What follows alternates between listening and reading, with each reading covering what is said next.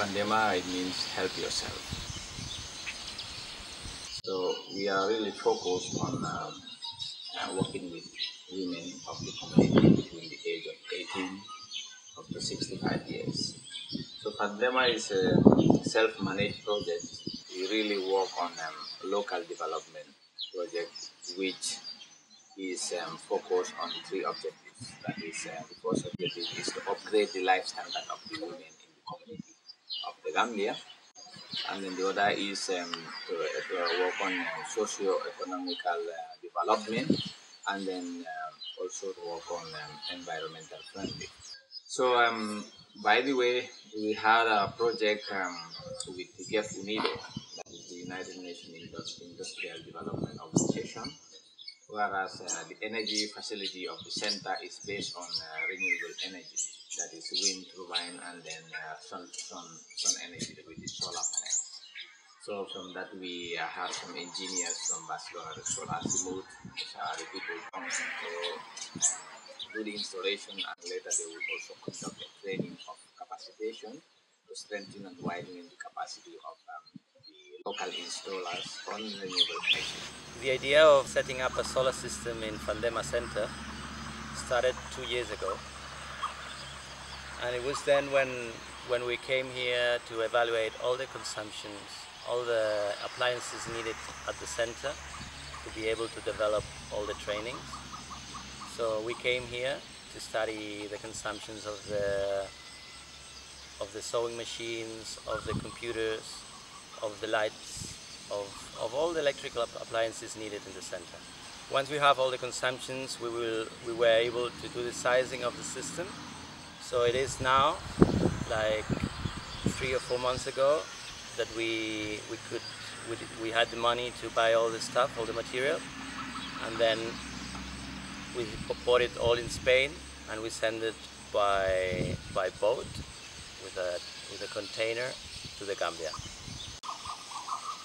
Once in the Gambia, with all the stuff here, we can start installation. We're going to do a big solar system, also with a wind turbine. We're talking about a hybrid, standalone solar system. It is hybrid because it includes a wind turbine, 1500 watts, that is around 3 meter diameter wind turbine. And we're talking about 30 panels, 230 watt each. That gives a total amount of 6,800 watt peak solar array. With this, we'll be able to power all the sewing machines, all the computers, all the light, all the equipment in the center. The objective of this installation is not only to give energy to the center, but to use it as a demonstration center for renewable energy. So all the, all the technology installed will be set up in a way that it can be used for training. We have a 5000 off-grid inverter that is a sunny island. This sunny island includes uh, an auxiliary charger. So with the fuel generator, we will be able to charge the batteries as, as well. And also this sunny island allows to charge the batteries from the grid. And that is, we include a grid connected inverter, in this case a 1200 watt grid connected inverter. And this energy from the grid connected inverter will be injected directly to the center, to the grid created by the sunny island. But when there's no consumption in the center, all the energy will go through the sunny island and also charge the battery. The wind turbine will also charge a battery. So we'll have a big battery that's a 3000 amps hour battery. And with this energy, with this accumulation, we'll be able to run the center even in rainy seasons. We have two days, up to three days of autonomy. Behind installation, behind the introduction of new technology like that, it's very important to have a good training. Training of skills, training of the new technology.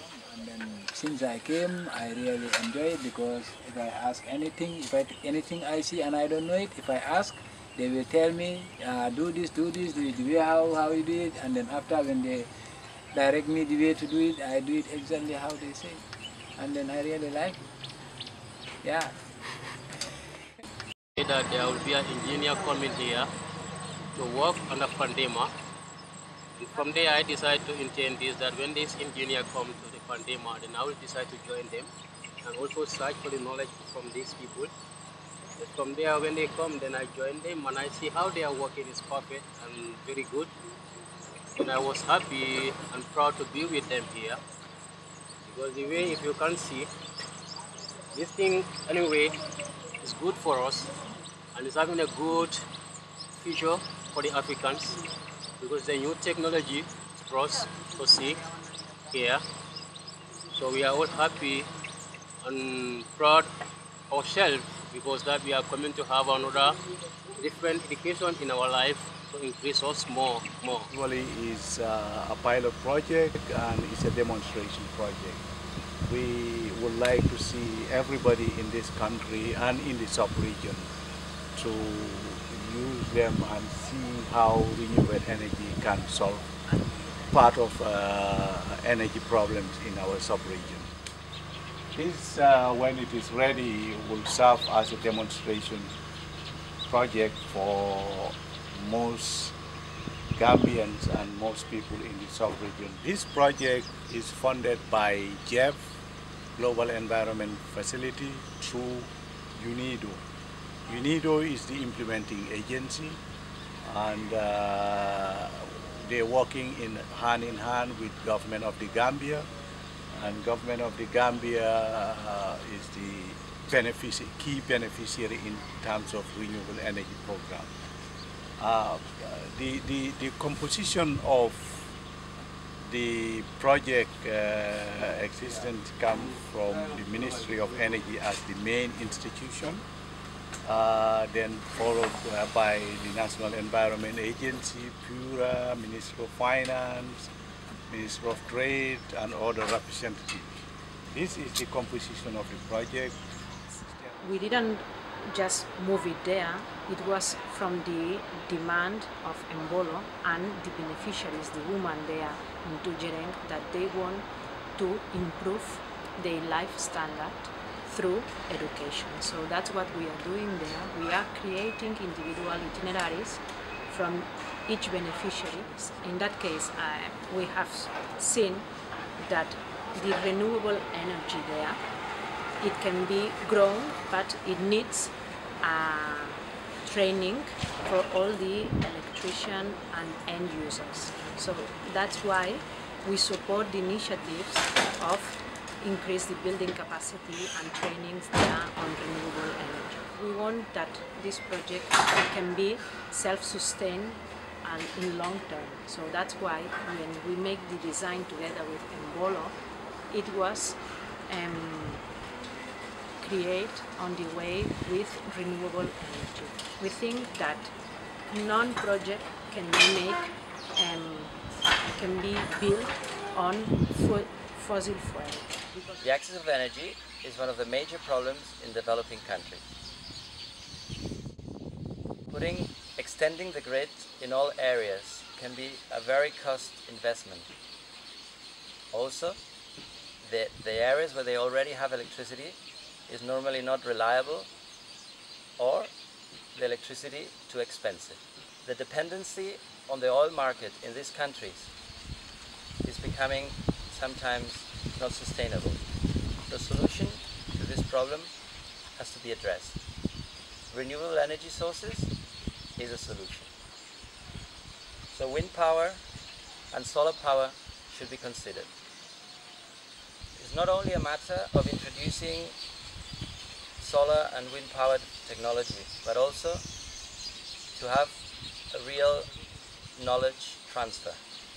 Together with the installation and the training, this solution, the solution to the energy dependency can be solved. The access of energy is directly related with economical and social development. So health, education, domestic, industrial and commercial activities can be developed only with the access of energy.